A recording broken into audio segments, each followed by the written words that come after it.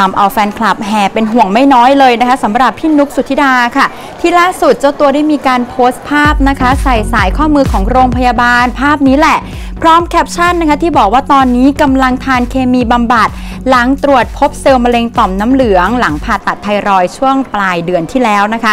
ล่าสุดทีมข่าวของเราไม่รอช้าค่ะ ต่อสายตรงสอบถามผู้จัดการส่วนตัวก็ให้ข้อมูลว่าตรวจแล้วพบว่าเป็นเนื้อร้ายเป็นมะเร็งต่อมน้ำเหลือง ตอนนี้นะคะคุณนุกยังรักษาตัวอยู่ที่ห้องรังสีวิทยา ไม่ได้มีใครสามารถเข้าไปได้ค่ะ รู้ผลตั้งแต่หลังผ่าตัดไทรอยด์แล้วด้วยทีนี้วิธีการรักษานะครับหลังจากนี้ก็ต้องรักษาทั้งอาการไทรอยด์แล้วก็รักษามะเร็งต่อมน้ำเหลืองไปพร้อม ๆ กันครับ แต่บนความโชคร้ายก็ยังมีความโชคดีครับ ที่ตรวจเจอในระยะเริ่มต้น ส่วนด้านสามีและครอบครัวไม่ได้เครียดมากครับ เพราะว่าตัวคุณนุกเองก็ยังยิ้มแย้มแจ่มใสดีนะครับ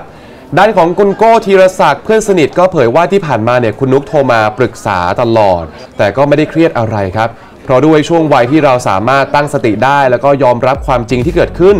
หลังจากออกจากห้องรังสีวิทยา เจ้าตัวบอกว่ารับดูแลคุณนุกต่ออีก 7 วันครับ ต้องอยู่ในห้องประมาณแบบ 24 ชั่วโมง 3 วัน แต่หลังจากนั้นเนี่ยเราก็จะ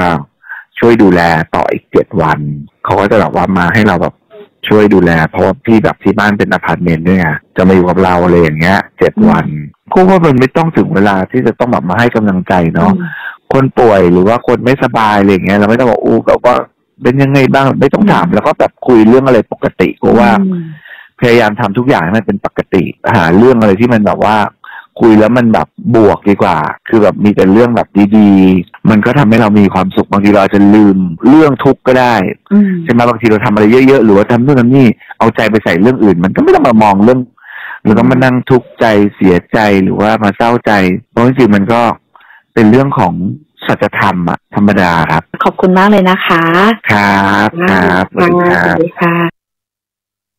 ขอบคุณทุกคนที่ติดตาม Insight News Tonight ในช่อง True Insight HD ค่ะ อย่าลืมกดกระดิ่งและกด Subscribe กันด้วยนะคะ เรายังมีคลิปวิดีโออีกมากมายค่ะ และถ้าเกิดว่าคุณผู้ชมนะคะ ไม่อยากพลาดการรับชมแบบสดๆ สามารถติดตามพวกเราได้ที่ Facebook Fanpage True Insight HD นะคะ และช่องทางอื่นๆ อีกมากมาย ติดตามได้ที่ลิงก์ใต้คลิปนี้เลยค่ะ